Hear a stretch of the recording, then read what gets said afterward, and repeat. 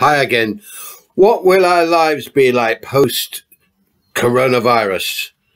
Our system government want to return to the previous situation, although this time there will be the not inconsiderable matter of mass unemployment, homelessness, the wrecked economy for starters.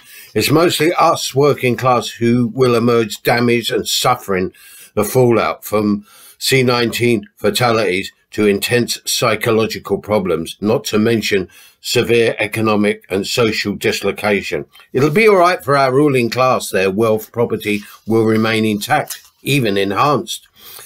They've already demonstrated their typical arrogance with priorities such as the reopening of, it, of estate agents, nannies and cleaners returning to service as sacred portals, they think they can rule, fool, manipulate and control us as previously, treat us like retarded children, policed by an army of petty bureaucrats and other enforcers of order.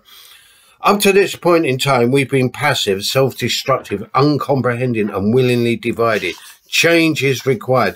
There will be civil disturbances, including rioting, looting. But before that, we need to be individually, collectively, rebellious, disrespectful, stroppy, and contemptuous of their authority and the entire setup, from royalty down to the petty, vindictive Jobsworths at the bottom of the hierarchy.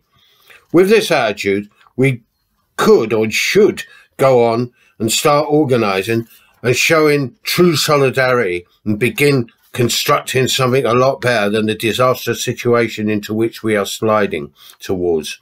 None of it of which we are responsible for. The time for burying our heads in the rubble has to finish. For me, anarchy and revolution is the only way forward. Bye.